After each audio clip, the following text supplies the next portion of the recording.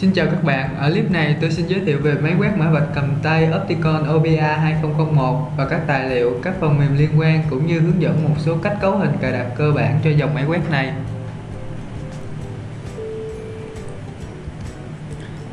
Nội dung của clip gồm 5 phần. Phần thứ nhất là giới thiệu về máy quét cầm tay Opticon OBA 2001. Phần thứ hai là giới thiệu các phần mềm và tài liệu liên quan. Phần thứ ba, tôi sẽ hướng dẫn các bạn cách update firmware cho OBA 2001.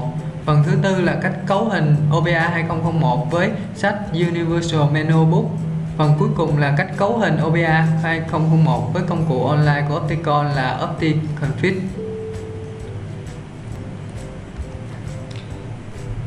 Đầu tiên tôi xin giới thiệu sơ lược về máy quét OBA 2001. OBA 2001 là dòng máy quét mã vạch cầm tay với thiết kế nhỏ gọn, trọng lượng siêu nhẹ, kiểu dáng đẹp, hợp thời trang, rất thích hợp khi sử dụng trong ngành bán lẻ, thời trang hay y tế. Máy có hai chế độ cho người sử dụng là chế độ cầm tay và chế độ tự động. Nó còn được đánh giá cao bởi độ bền, khả năng quét mã vạch cực tốt, ngay cả đối với các mã vạch lỗi, trầy xước hay trên chất liệu có độ tương phản thấp và mật độ mã vạch cao. Về các tài liệu hướng dẫn kỹ thuật của máy Opticon OBA 2001 đều được cung cấp đầy đủ online trên website chính thức của Opticon Việt Nam. Để tải về, bạn truy cập vào địa chỉ opticon.vn và chọn một dịch vụ và hỗ trợ, sau đó click vào OptiWiki. Trang OptiWiki là kênh luôn cập nhật đầy đủ các thông tin về tất cả các thiết bị của Opticon bao gồm các hướng dẫn sử dụng, các cách cấu hình và các phần mềm liên quan tới thiết bị. Ở trang wiki này, bạn click chọn vào sản phẩm OBA 2001.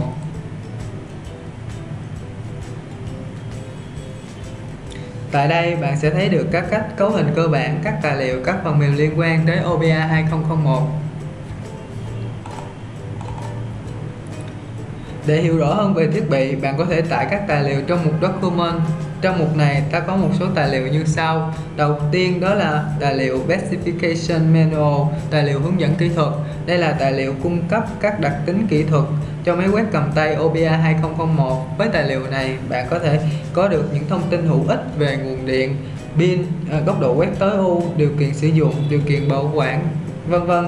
Tài liệu thứ hai đó là datasheet. Đây là tài liệu cung cấp một cái nhìn khái quát về đặc điểm kỹ thuật của sản phẩm. Tài liệu thứ ba đó là Universal Menu Book là tài liệu chứa các hướng dẫn sử dụng các tùy chọn cấu hình cho hầu hết các dòng máy của Opticon. Với cuốn sách này, người dùng có thể thực hiện cấu hình cho máy quét của mình một cách dễ dàng nhất để phù hợp với nhu cầu sử dụng chỉ với những mã code cấu hình rất đơn giản. Còn bên dưới bạn sẽ thấy được các phần mềm dành cho máy quét OBA 2001. Đầu tiên đó là đó là phần mềm Upload. Đây là công cụ dùng để tải firmware cho hầu hết các dòng máy của Opticon. Kế tiếp đó là firmware OBA 2001. Đây là chương trình hoạt động của máy web. Muốn tải vào máy, bạn phải sử dụng phần mềm Upload ở trên. Sau đây tôi xin hướng dẫn các bạn cách cài đặt firmware cho máy web Opticon OBA 2001. Để cài đặt firmware, đầu tiên bạn cần chuẩn bị các phần mềm sau đây.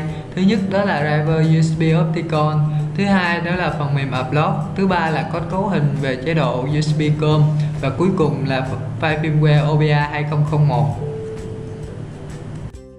Đầu tiên, bạn cần phải cài đặt driver USB cho máy quét để cho các thiết bị nhận dạng được máy đọc mã vạch và có thể thực thi các kết nối cài đặt. Trong trang wiki OBA 2001, bạn tải file cài đặt driver bên dưới. Sau đó bạn vào thư mục uh, download.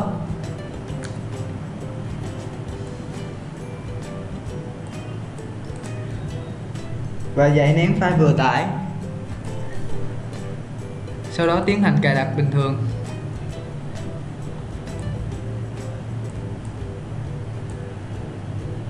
Như vậy bạn đã cài đặt thành công driver cho OBA 2001 Tiếp tục bạn tải phần mềm Upload. Cũng trong căn wiki OBA 2001 bạn tìm đến software Upload và tiến hành download. Sau đó trong thư mục download, bạn tiến hành giải nén file vừa tải và cuối cùng là bạn tiến hành cài đặt bình thường.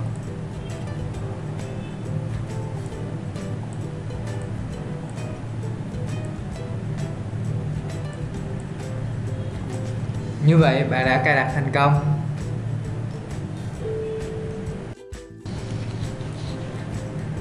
Công việc kế tiếp là bạn tải firmware cho dòng máy OBA 2001 thì trên trang wiki đã cung cấp cho bạn một firmware của OBA 2001 Tuy nhiên, nếu bạn đang sử dụng dòng máy OBA 2001Z thì bạn không thể sử dụng firmware này. OBA 2001Z là dòng máy mới và chúng tôi chưa kịp upload firmware của dòng này lên trang wiki. Nên nếu bạn cần, bạn có thể liên hệ với Opticom Việt Nam để chúng tôi cung cấp cho bạn firmware này. Và dòng máy OBA 2001 của tôi đang sử dụng là dòng Z nên tôi không sử dụng firmware trên trang wiki tôi đã có sẵn firmware ừ, của OBA 2001Z uh, trên máy tính và công việc bây giờ của tôi là chạy phần mềm upload và update firmware cho máy. Bây giờ bạn hãy kết nối OBA 2001 với máy tính. Tuy nhiên khi kết nối bạn chưa thể upload firmware cho OBA 2001 được bởi vì phần mềm chưa nhận cổng cơm của máy. Mặc định thì OBA 2001 sẽ giữ, sử dụng cổng USB HDD do đó bạn phải cấu hình máy của bạn sử dụng cổng giao tiếp USB COM thì mới có thể upload firmware cho máy được. Để cấu hình bạn vào trang config online của Opticon. Bằng cách vào địa chỉ opticon.vn sau đó vào, vào phần dịch vụ và hỗ trợ và chọn mục Opti Config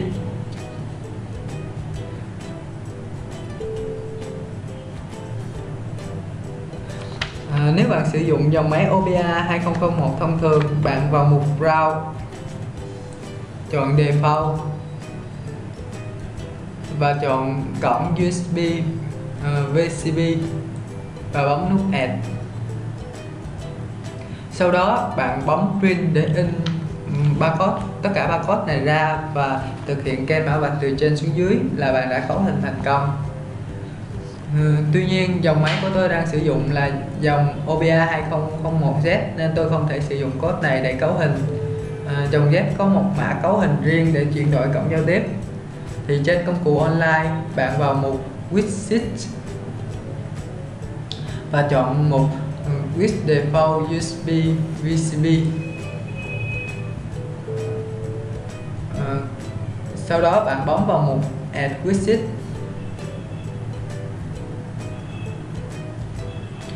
Cuối cùng bạn in barcode này ra và thực hiện kem mã vạch từ trên xuống dưới để cấu hình Hiện tại tôi đã có code cấu hình USB VCB trên tay và bây giờ tôi sẽ thực hiện scan mã vạch từ trên xuống dưới để tiến hành cấu hình ờ, máy quét mã vạch ở chế độ này.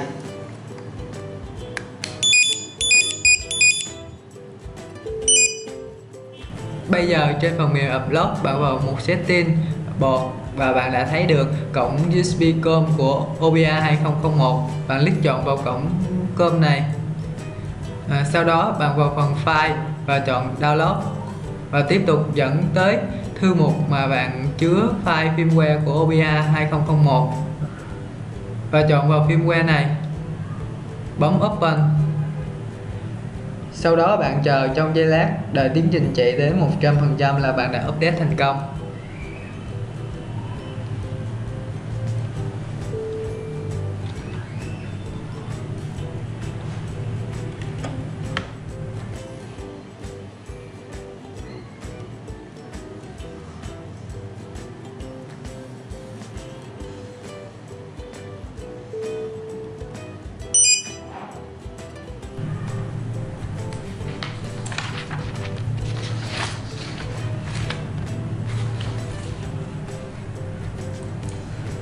Tuy nhiên, việc update firmware này chỉ dùng để cài đặt máy về mặc định vì firmware này là firmware có sẵn trong OBA 2001 nên không có các tính năng nào khác hay mới cả.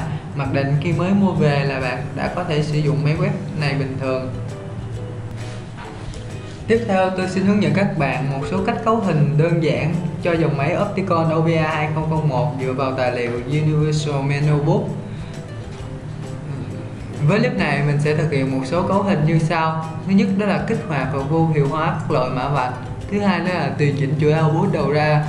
Ừ, thứ ba là bật tắt chế độ auto trigger thứ tư là chuyển đổi các chế độ đọc dữ liệu. Thứ năm là các chế độ đọc nâng cao dành cho OBA 2001 và cuối cùng là bật tắt các tín hiệu chỉ thị.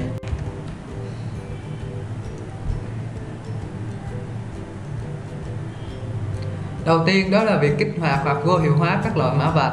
Vấn đề đặt ra ở đây đó là trong kho bạn có nhiều loại mã barcode khác nhau và trong khi mã dữ liệu của bạn chỉ là mã code 39 hoặc là code 128 thì để tránh việc quét nhầm các loại mã khác à, bạn muốn máy quét chỉ đọc được hai loại mã này còn các mã khác thì không à, với cuốn sách Universal Manual Book thì việc cấu hình này thực hiện rất dễ dàng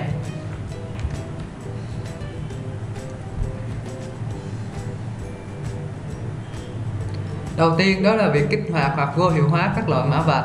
Vấn đề đặt ra ở đây đó là trong kho bạn có nhiều loại mã barcode khác nhau và trong khi mã dữ liệu của bạn chỉ là mã code 39 hoặc là code 128 thì để tránh việc quét nhầm các loại mã khác à, bạn muốn máy quét chỉ đọc được hai loại mã này còn các mã khác thì không à, với cuốn sách Universal Manual Book thì việc cấu hình này thực hiện rất dễ dàng Ờ, trong sách Universal Menu Book, bạn tìm đến mục Code Option.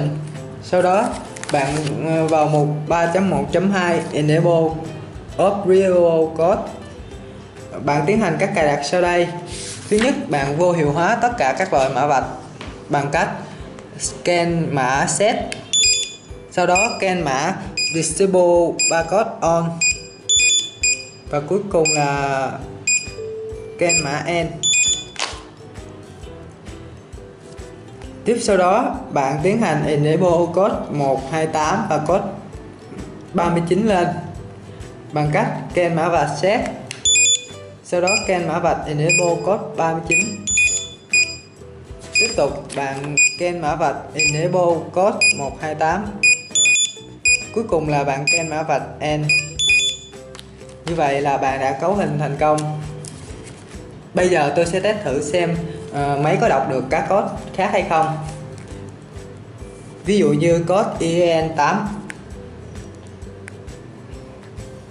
rồi, máy không đọc được. Code UVC UVC E. Tất cả đều không đọc được. Bây giờ tôi sẽ test thử với code 39 và code 128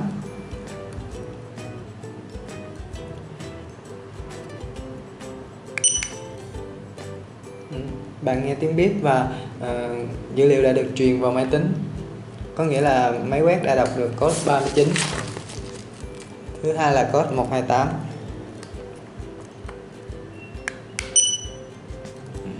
ừ, dữ liệu đã cũng được đã được truyền vào máy tính.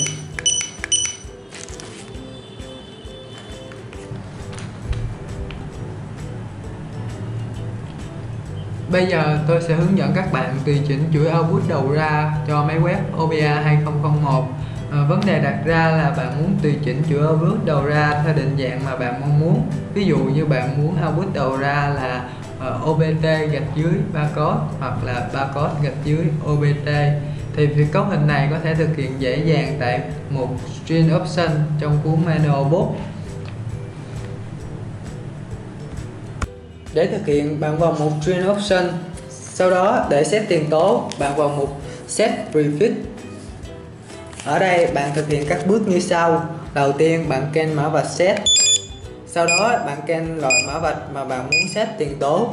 Ví dụ như bạn chỉ muốn set uh, à, loại barcode code 39 uh, là có tiền tố như vậy thì bạn chỉ can mã vạch code 39 còn ở đây tôi muốn tất cả các loại barcode đều hiển thị tiền tố OBT gạch dưới thì tôi sẽ kèm mã vạch on barcode. Tiếp đến bạn tìm đến một ờ, uh, direct input character và kèm các ký tự mà bạn mong muốn. Ở đây tôi sẽ kèm ký tự O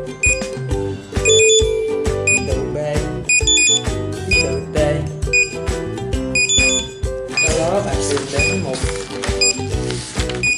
uh, direct input generator mix và kèm uh, ký tự gạch dưới.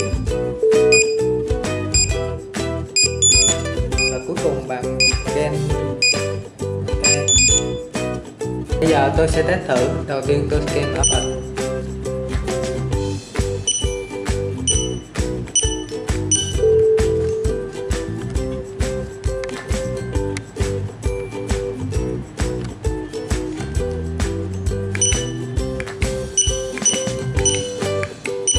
trên màn hình tất cả các barcode đều hiện ký tự OBT gạch dưới đằng trước nó. Chứng tỏ bạn đã cấu hình thành công à, tiếp tục tôi sẽ hướng dẫn các bạn à, xóa các tiền tố đằng trước barcode nếu bạn không muốn hiển thị như vậy nữa. Đầu tiên bạn tìm đến mục set repeat và ken vào barcode set. Sau đó ken vào barcode on code tiếp đến bạn tìm đến barcode clear on repeat và scan barcode này. Sau đó bạn scan end để kết thúc. Như vậy là bạn đã xóa barcode uh, ờ, tiền tố của barcode thành công. Tôi sẽ test thử cho bạn xem.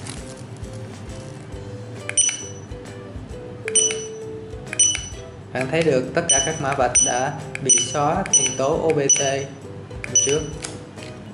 Tiếp tục tôi sẽ hướng dẫn các bạn tùy chỉnh hậu tố đằng sau barcode thì tương tự như cách cài đặt à, tiền tố thì bạn cũng vào mục uh, set subfit và tiến hành scan như sau. Đầu tiên bạn scan mã vạch set. Tiếp đến bạn scan mã vạch on code thêm đến mục direct input character và can các cái từ mong muốn. Đầu tiên là dấu gạch dưới. Tiếp đến, bạn can các ký tự O, B, T và cuối cùng là N. Bây giờ tôi sẽ test thử cho các bạn xem. Bạn đã thấy được ờ, uh, barcode đã có chữ OBT phía sau. Như vậy là bạn đã cấu hình thành công. Tiếp tục tôi xin hướng dẫn các bạn cách bật tắt chế độ auto trigger của máy web OBA 2001 thì OBA 2001 có hai chế độ sử dụng đó là chế độ quét thủ công và chế độ quét tự động hay còn gọi là auto trigger thì tùy vào mục đích sử dụng mà người dùng có thể chuyển đổi qua lại giữa hai cái chế độ này với chế độ quét thủ công, người dùng phải bấm phím kích hoạt trên thân máy mới có thể quét được mã vạch. Còn với chế độ Auto Trigger, người dùng có thể lựa chọn một trong hai chế độ sau. Thứ nhất là luôn luôn kích hoạt. Ở chế độ này thì máy quét sẽ luôn phát ra tiêu quét để sẵn sàng quét mã vạch.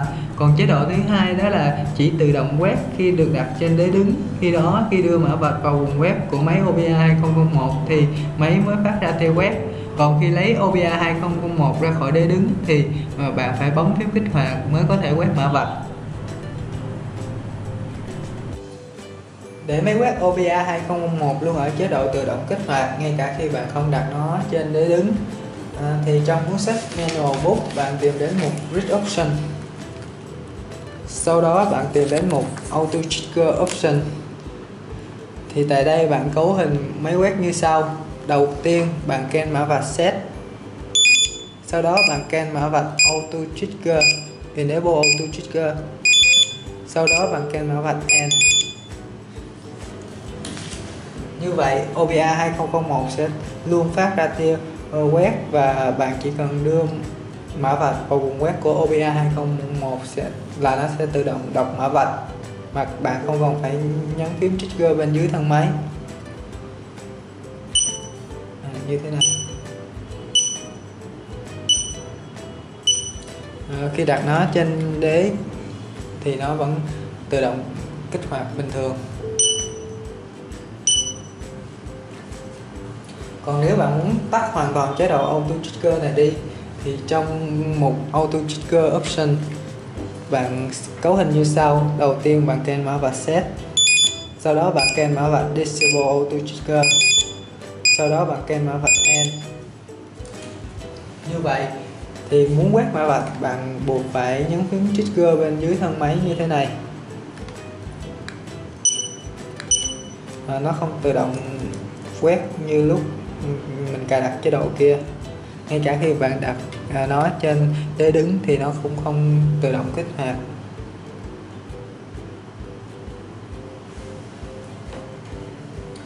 Còn muốn OBA 2001 uh, trở về mặc định ban đầu là tự động kích hoạt khi đặt trên đế đứng thì bạn tiến hành cấu hình như sau.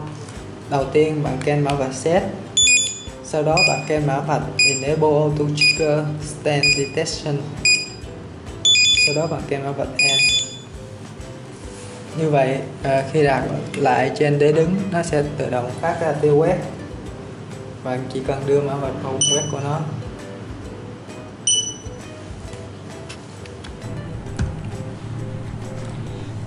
Tiếp đến tôi sẽ hướng dẫn các bạn chuyển đổi giữa các chế độ động của OBA 2001 thì OBA 2001 có 3 chế độ. Chế độ single read là chế độ khi đọc một barcode thì máy quét sẽ tắt đi và bạn phải nhấn phím kích hoạt trở lại khi muốn đọc barcode tiếp theo.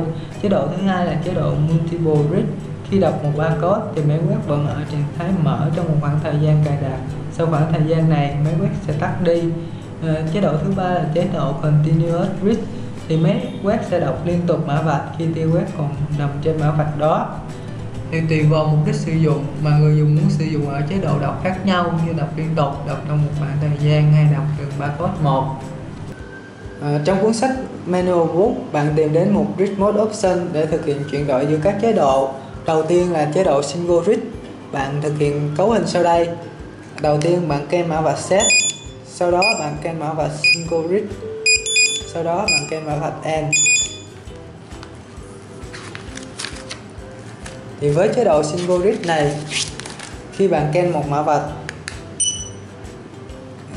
và bạn muốn ken mã vạch tiếp theo thì bạn phải phóng phím trigger bên dưới thân máy thì mới có thể ken được mã vạch. Tiếp đến, tôi sẽ chuyển đổi qua chế độ multiple read đầu tiên, bạn ken mã vạch set. Sau đó, bạn ken mã vạch multiple read sau đó, bạn ken lại mã vạch end với chế độ multiple read khi bạn ken một mã vạch tiêu quét vẫn được giữ cho đến khi không có mã vạch nào khác được scan thì tiêu quét sẽ tắt đi. Tiếp đến, tôi sẽ chuyển đổi qua chế độ continuous. Read đầu tiên, bạn scan mã vạch set, sau đó bạn scan mã vạch continuous read và cuối cùng scan mã vạch end. Với chế độ continuous read khi tiêu quét vẫn nằm trong mã vạch, thì máy quét sẽ đọc liên tục mã vạch đó cho đến khi bạn đưa tiêu quét ra khỏi mã vạch thì máy quét mới ngưng đọc mã vạch. Tiếp theo tôi xin hướng dẫn các bạn tùy chỉnh các chế độ đọc nâng cao dành cho OBI 2001 thì trên thực tế có nhiều loại mã vạch được in trên chất liệu giấy chất lượng thấp hay mật độ nén cao. Các mã vạch đặc biệt như vạch trắng nền đen à, thì vậy làm sao để máy đọc mã vạch có thể đọc được các mã vạch này một cách tối ưu nhất trong cuốn sách Manual Book cung cấp một số tùy chọn nâng cao như sau. Đầu tiên là đối với các mã vạch positive và negative. Mã vạch positive là các mã vạch đen engine trắng thông thường mà chúng ta thấy, còn mã vạch negative thì lại các mã vạch màu trắng còn nền thì màu đen. Thì nếu để ở chế độ positive thì bạn không thể quét mã vạch ở chế độ negative và ngược lại. Muốn chuyển đổi giữa hai chế độ này, bạn thực hiện cấu hình như sau. Thì mặc định OBI 001 là ở chế độ positive thì muốn đọc được mã vạch à, ở chế độ negative, bạn thực hiện ken mã vạch như sau. Đầu tiên bạn quét mã vạch set. Sau đó bạn ken mã vạch negative barcode. Sau đó bạn ken mã vạch end. Lúc đó với các mã vạch nền đen, vạch trắng thì bạn có thể ken một cách dễ dàng. Còn các mã vạch thông thường trên nền trắng vạch đen thì bạn không thể ken được Muốn chuyển đổi OBI 001 trở lại chế độ Positive, đầu tiên bạn ken mã vạch set, sau đó bạn ken mã vạch Positive. Cuối cùng là bạn ken mã vạch End. Khi đó đối với các mã vạch thông thường trên nền trắng vạch đen thì bạn có thể ken được.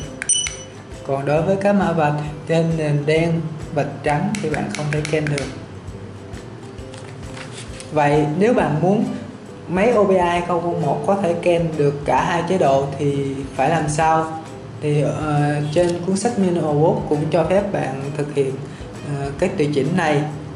Để để thực hiện bạn ken mã vạch set sau đó bạn ken mã vạch positive and negative barcode sau đó bạn ken mã vạch end như vậy, bây giờ bạn có thể scan được mã vạch ở hai chế độ.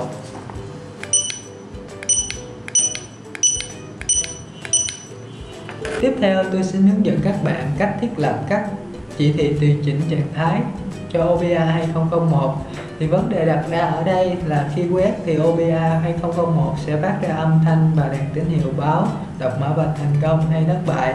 Tuy nhiên, nhiều người thấy những tín hiệu này rất phiền phức và ồn ào, do đó họ muốn tắt các tín hiệu này đi. Để cấu hình, bạn tìm đến mục indicator option. Và đầu tiên, bạn tìm đến mục buzzer setting. Thì ở mục này sẽ giúp bạn tùy chỉnh âm thanh cho OBA 2001 thì nếu bạn muốn tắt âm thanh của OBI 001D bạn thực hiện ken các mã vạch sau. Đầu tiên bạn ken mã vạch set sau đó bạn ken mã vạch disable buzzer. Sau đó bạn ken mã vạch end khi đó, khi bạn ken mã vạch, bạn sẽ không còn nghe âm thanh của máy quét nữa.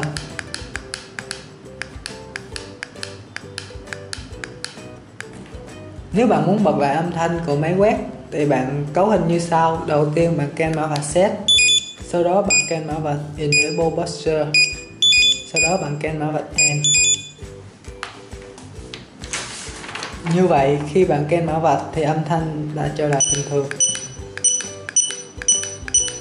Tiếp đến bạn tìm đến một phút read left để tiến hành à, tắt tín hiệu đèn của OBI 01 đi. Thì đầu tiên bạn can mã vạch set sau đó bạn căn mã vạch disable indicator à, cuối cùng là end như vậy khi kênh mã vạch đèn tín hiệu không còn phát lên nữa. Muốn hiện trở lại bạn thực hiện cấu hình như sau. Đầu tiên bạn kênh mã vạch set tiếp đến bạn kênh mã vạch indicator durable.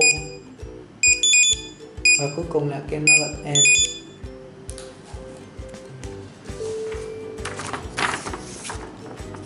lúc đó bạn kèm mã vạch đèn tín hiệu sẽ hiện trở lại Ngoài việc cấu hình máy quét OBI 001 bằng sách Universal Menu Book, Opticon còn cung cấp một công cụ cấu hình online rất tiện lợi cho người dùng. Để truy cập vào công cụ này, bạn vào trang web opticon.vn. Sau đó bạn click vào mục dịch vụ và hỗ trợ và chọn mục Opti config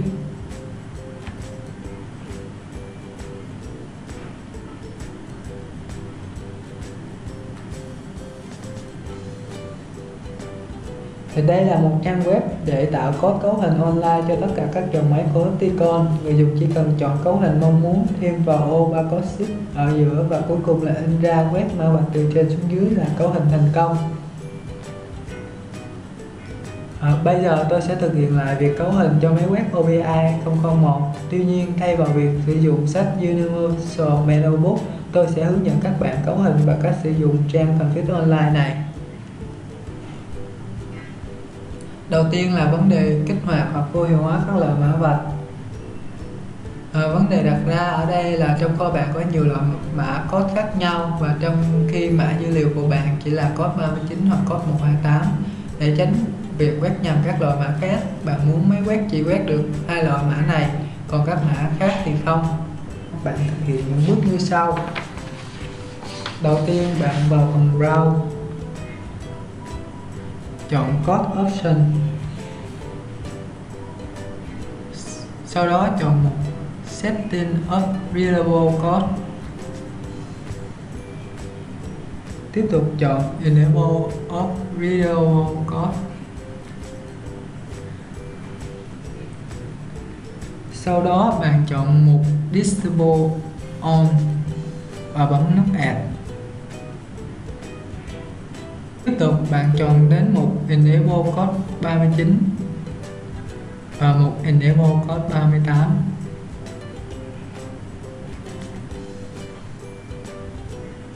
và bấm nút Add.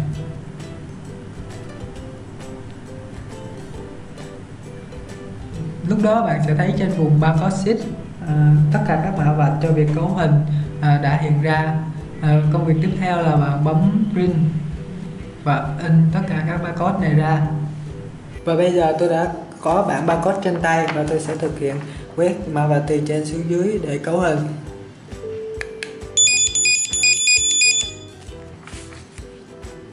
Để biết bạn cấu hình thành công hay không thì bây giờ bạn sẽ test thử.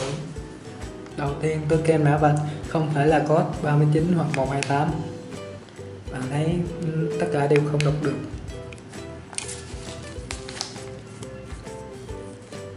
Tiếp đến tôi mã vạch code 39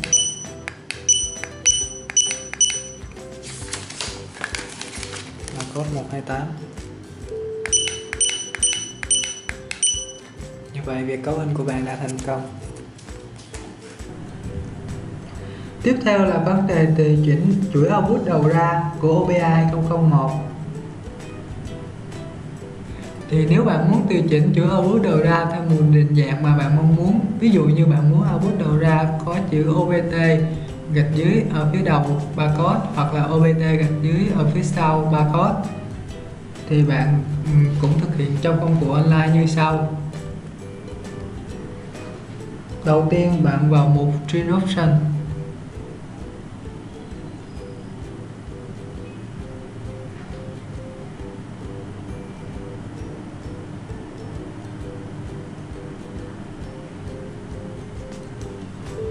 Sau đó bạn chọn mục Repeat.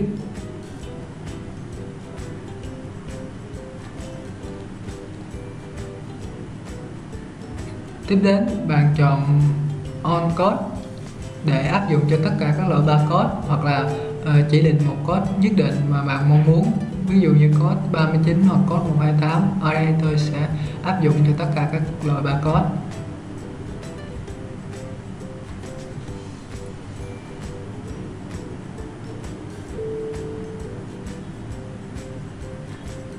và tiếp tục bạn lựa chọn các ký tự mà bạn mong muốn. Ví dụ như tôi, ở đây tôi muốn là ký tự O. B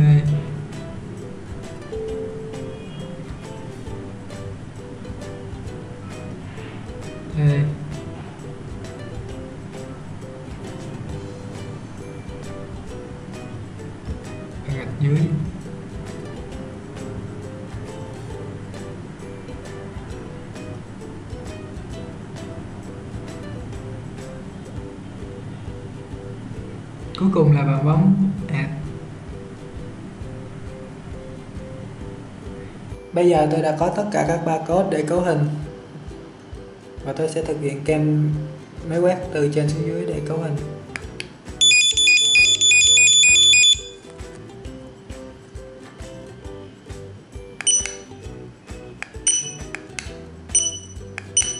Và bạn thấy được, tất cả các mã vạch đều có ký tự OBT đằng trước của nó.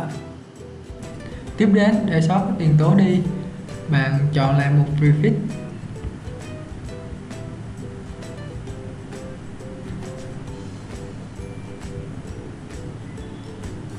Phần code bạn bỏ đi. Khi đó, bạn sẽ thấy một layer on refit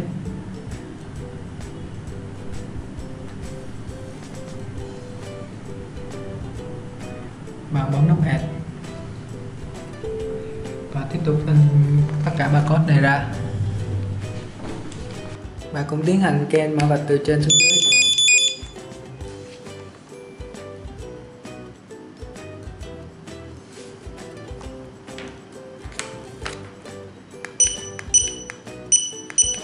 Thấy được các tiền tố đã mất đi.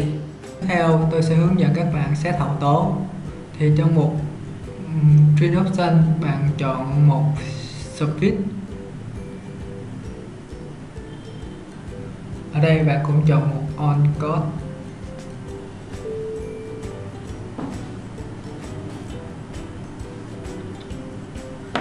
Và tiến hành xét các hậu tố sau. Thứ nhất là dấu gạch dưới.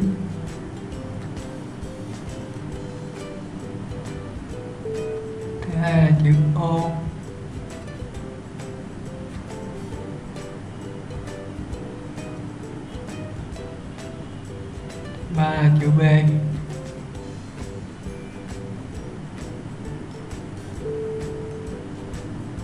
Cuối cùng là chữ T.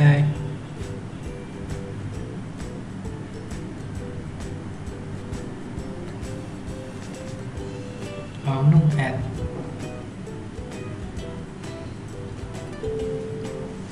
sau đó bấm pin để in ra. Để xóa hậu tố đi hiện bỏ chọn mục on code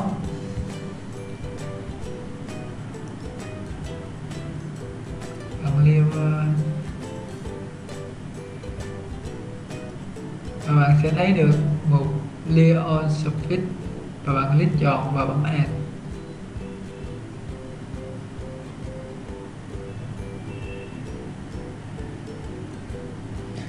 Và bấm print để in ra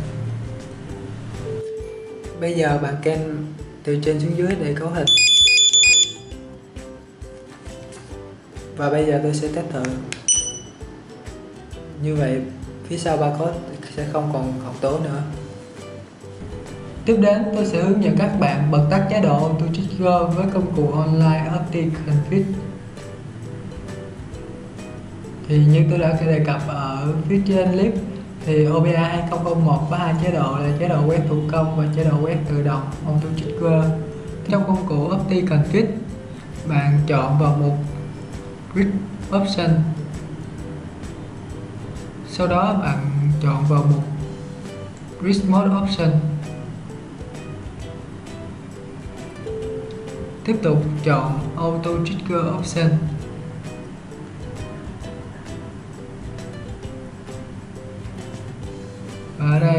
Tiến hành chọn chế độ.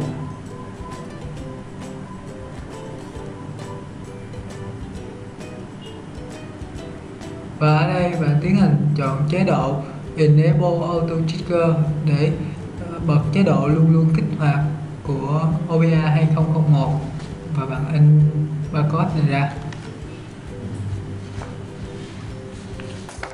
À, bây giờ tôi đã có code cấu hình chế độ Enable Auto Trigger cho OBA 2001 trên tay. Bây giờ tôi sẽ thực hiện cấu hình cho OBA 2001 bằng cách kênh mã vạch từ trên xuống dưới.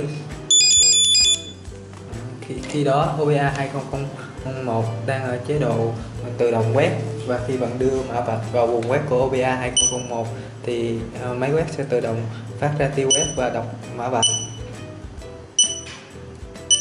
Ngay cả khi bạn đặt lên chân đế của OBA 2001 thì nó cũng tự động phát ra tiêu quét và bạn chỉ cần đưa mã vạch vào vùng quét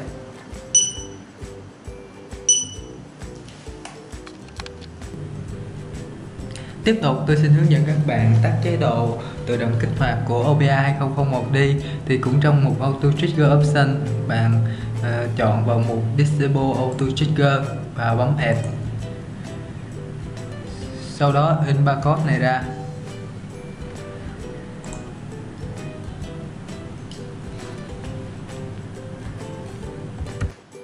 Tiếp tục bạn kê mã vạch từ trên xuống dưới để cấu hình. Khi đó OBA 2001 đã bị vô hiệu hóa chế độ ờ, auto trigger và khi ờ, đưa mã vạch vào vùng web của OBA 2001 thì nó không tự động đọc mã vạch nữa, mà bạn phải bấm phím trigger bên dưới thân máy như thế này để đọc mã vạch. Ngay cả khi bạn đặt trên ờ, chân đế của nó nó cũng không bật chế độ tự động kích hoạt lên. Tiếp tục để đặt lại chế độ mặc định là OEA 2001 sẽ tự động kích hoạt khi đặt lên chân đế. Bạn tiến hành các bước như sau. Đầu tiên bạn tìm chọn mục Enable Auto Trigger Stand Detection và bấm Add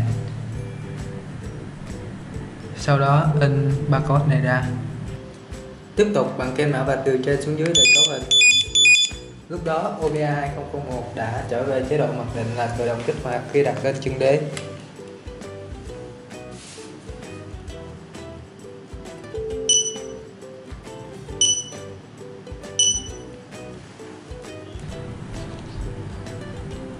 Tiếp tục, tôi xin hướng dẫn các bạn chuyển đổi các chế độ đọc của OBA 2001 thì OBA 2001 có 3 chế độ đọc chế độ thứ nhất là chế độ single read với chế độ này, khi đọc một barcode máy quét sẽ tắt đi và phải nhấn phím kích hoạt trở lại khi muốn đọc barcode tiếp theo.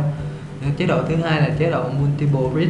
Khi đọc một barcode thì máy quét sẽ vẫn ở trạng thái mở trong một khoảng thời gian cài đặt. Sau khoảng thời gian này, máy quét sẽ tắt đi. Ờ, chế độ thứ ba là chế độ continuous read. Thì máy quét sẽ đọc liên tục mã vạch khi tiêu quét còn nằm trong mã vạch đó. Thì tùy thuộc vào nhu cầu sử dụng mà người dùng muốn sử dụng máy quét mã vạch ở chế độ nào à, như đọc uh, liên tục đọc trong một khoảng thời gian nào đó hay đọc từng barcode một. À, vậy làm sao để chuyển đổi giữa các chế độ đọc đó? Đầu tiên tôi sẽ chuyển đổi OBA 2001 ở chế độ single read. À, ở công cụ online bạn vào mục browse và chọn mục read option. Sau đó bạn chọn mục read mode option. Ở đây bạn tiếp tục chọn vào mục single read bấm add và in barcode này ra. Bây giờ bạn cụ kênh mã vạch từ trên xuống dưới để tiến hành xét chế độ đọc này. Khi đó ở chế độ single read khi bạn đọc một barcode và bạn muốn đọc một barcode tiếp theo thì bạn phải nhấn lại phím trigger của OBA 2001 để scan mã vạch tiếp theo.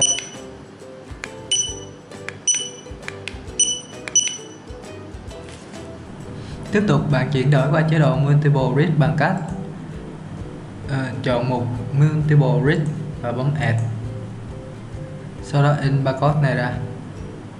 Tiếp tục kê mã vạch từ trên xuống dưới để cấu hình chế độ Multiple Read sau khi cấu hình thành công tôi sẽ test thử chế độ Multiple Read của OBA 2001 thì với chế độ này khi bạn kê một mã vạch nếu bạn tiếp tục kèm mã vạch tiếp theo thì tiêu web vẫn giữ cho đến khi bạn không còn kèm mã vạch nào khác nữa thì mình tiêu web sẽ tắt đi.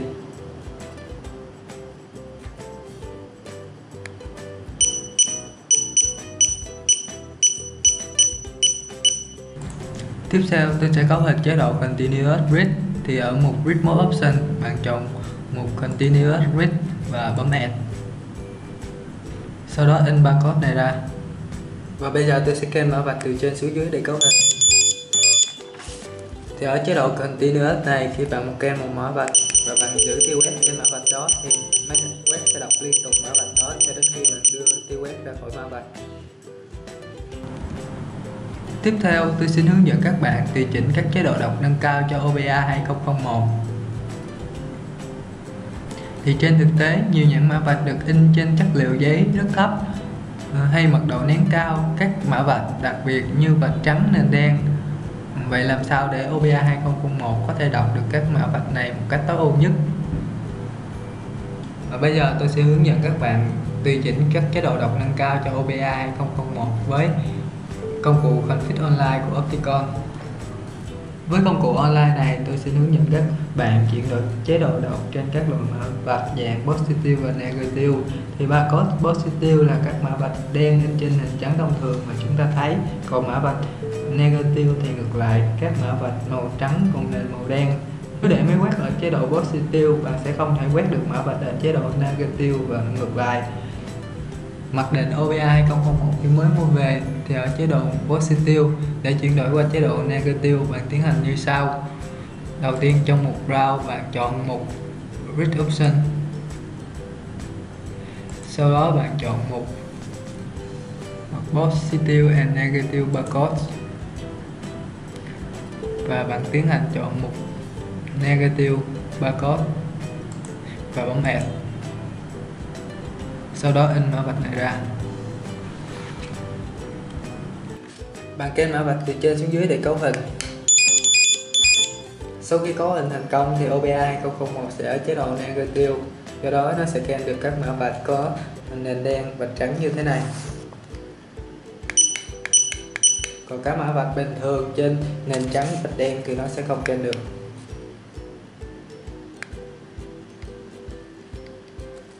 Còn nếu bạn muốn OBA 2001 có thể scan cả hai chế độ Positive và Negative, bạn tiến hành như sau. Cũng trong mục Positive and Negative Barcode, bạn chọn mục Positive and Negative Barcode và bấm Add. Sau đó in mã vạch này ra. Và tiến hành ken mã vạch từ trên xuống dưới để cấu hình. Lúc đó OBA 2001 sẽ ken được cả hai loại mã vạch Positive và Negative ví dụ như mã vạch trên nền trắng chữ đen và mã vạch trên nền đen và trắng. Hai điều trên được.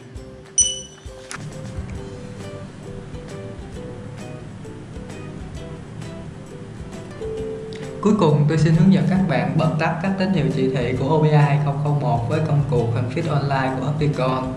Thì khi quét thì OBI 2001 sẽ phát ra các âm thanh và tín hiệu đèn báo hiệu đã đọc mã vạch thành công hay thất bại. Tuy nhiên nhiều người thấy những tín hiệu này rất là phiền phức và ồn ào do đó thì họ muốn tắt các tín hiệu này đi. Để thực hiện trong công cụ OptiConfig, bạn vào mục Indicator Option và chọn mục Buzzer Setting. Sau đó bạn chọn mục Disable Buzzer để tắt âm thanh khi kênh mã vạch cho OBA 2001 và bấm Add. Sau đó in barcode này ra. Tiếp tục kênh mã vạch từ trên xuống dưới để cấu hình.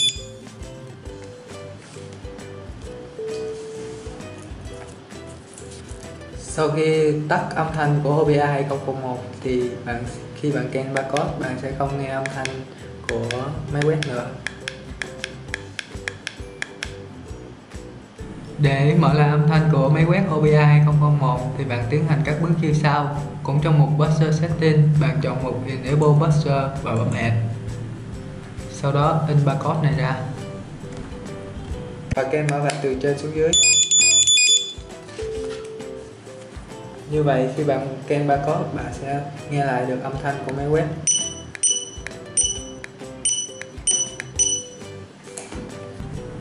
Tiếp tục, tôi sẽ hướng dẫn các bạn tắt đèn tín hiệu của OBI 001 đi. Thì cũng trong mục Indicator Option, bạn chọn lại mục Goodread Lab và ở đây, bạn chọn mục Disable Indicator và bấm Add sau đó, in barcode này ra và tiến hành kèm mã vạch từ trên xuống dưới.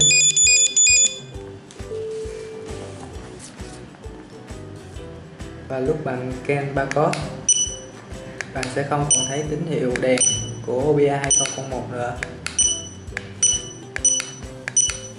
Để bật lại tín hiệu đèn của OBI 2001 thì cũng trong mục Woodrid Lab, bạn chọn mục Indicator Duration và bấm Add. Sau đó in barcode này ra. Và cũng scan mã vạch từ trên xuống dưới để cấu hình. Như vậy khi quét mã vạch bạn sẽ thấy lại tín hiệu đèn xanh của OBI 2001